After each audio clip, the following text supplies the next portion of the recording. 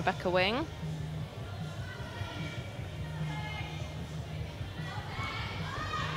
The round off layout mount, beautiful, and that mount is performed so nicely, a beautiful skill to watch. Full twisting flick. There was a time when that was a really popular skill on the international scene, but it's become less so. Penalties have become much more harsh if the girls don't get their hands round before they contact the beam. And nice, they're moving through to the flick layout. Good combination there from Rebecca. Rebecca, a tall, attractive gymnast to watch on the beam. Lovely long lines, nice choreography.